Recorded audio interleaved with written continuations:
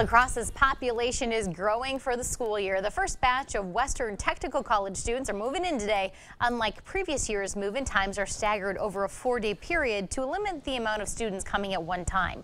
175 Western students are moving into campus residence halls. The school's student life coordinator says those halls are almost back up to full capacity.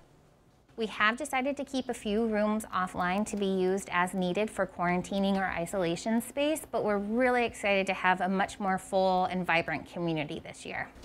Classes at Western begin September 7th.